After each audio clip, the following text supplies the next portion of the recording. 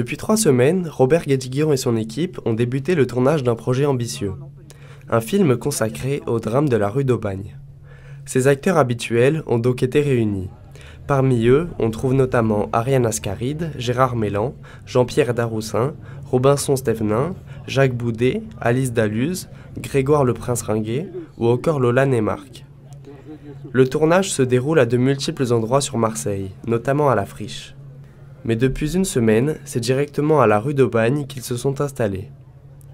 Le soir du 14 avril, une scène emblématique a été tournée, celle de la commémoration des victimes des effondrements, ainsi que l'inauguration de la place du 5 novembre 2018. Et tout le monde descend tranquillement, prendre sa position.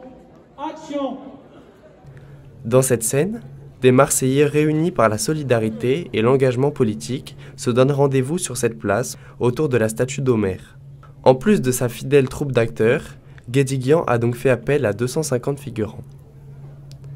Pour son 23e film, le réalisateur marseillais a choisi la forme d'un conte. Au-delà du drame, son but est de délivrer un message optimiste.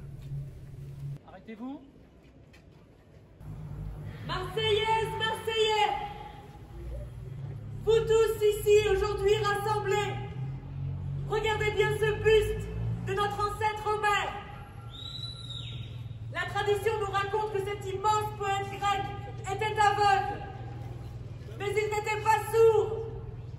Alors, le 5 novembre 2018, à 9h05 précisément, il n'a pas pu ne pas entendre ce bruit. Ce grand, cet énorme, ce terrible bruit. Celui de l'effondrement des immeubles 63 et 65 de notre aimée rue d'Aubagne, à laquelle il tourne le dos